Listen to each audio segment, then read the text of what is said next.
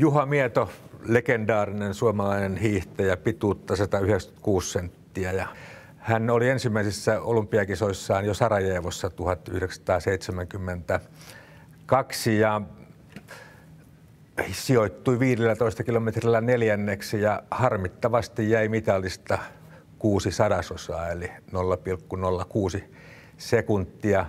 Kaksi vuotta sen jälkeen hän oli Faalunin MM-kisat eli 1974 ja voisi ehkä ajatella, että, että tuolloin Juha Mieto saattoi olla elämänsä kunnossa, mutta Faalunin MM-kisat olivat taas puusuksen ja lasikuitusuksen välinen mittelö. Ja, ja Juha Mieto luotti 74 vielä puusuksiin ja, ja sijoittui kyllä kolmella kympillä toiseksi Ruotsin Tuomas Magnussonin jälkeen, mutta kun hiidettiin Falunissa lähes vesikelillä sekä 30, 15 että 50 kilometriä, niin, niin ei ihme, että, että Mieto kärsi noista, tuosta välineestään niin paljon, että Tuomas Magnusson kyllä voitti puolella minuutilla tuon 30 äh, kilpailun.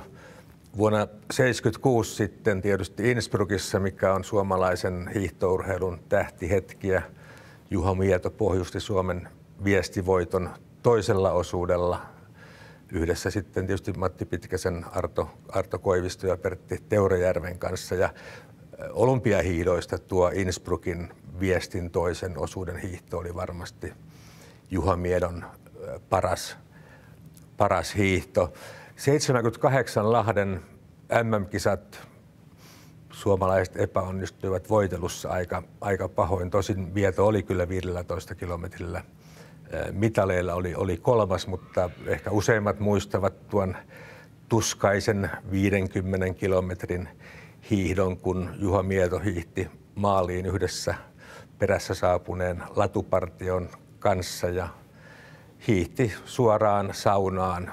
Lake Placid 1980 ehkä erikoisin, dramaattisin 15 kilometrin hiihto, jossa, jossa Juha Mieto häviää kultamitalin sadasosa sekunnilla Thomas Vasberille.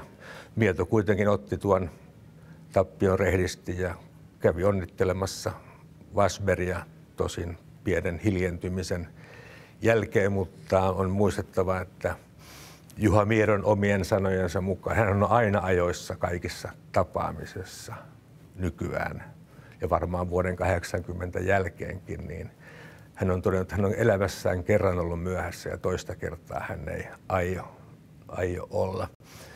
Ehkä vähiten tunnettu tarina Juha Miedosta on kuitenkin, kuitenkin se, joka liittyy amerikkalaiseen hiihtäjään Bill Kohiin, joka kärsi sokeritaudista ja, ja Holmenkollenin 50 kilometrin hiihdossa 50, äh, 70-luvun lopussa Koh oli täysin poikki pari kilometriä ennen maalia viimeisen jyrkän ylämään alkaessa ja hän ryhtyi nojailemaan sauvoihinsa ja yhtäkkiä hän tuntee, kun iso kämmen tulee hänen selkäänsä ja lähtee työntämään häntä mäen päälle. Ja Koh katsoo taakseen, niin siinä on Juha Mieto, joka ystävällisesti hymyillen työntää häntä mäen päälle ja Koh pääsee mäen päälle koska loppumatka on laskua, niin Koh pääsee maaliin. Ei joudu keskeyttämään kilometriä ennen, ennen maalia. Ja Koh totesi, että hän oli niin poikki, että hän ei olisi koskaan päässyt maaliin. Ja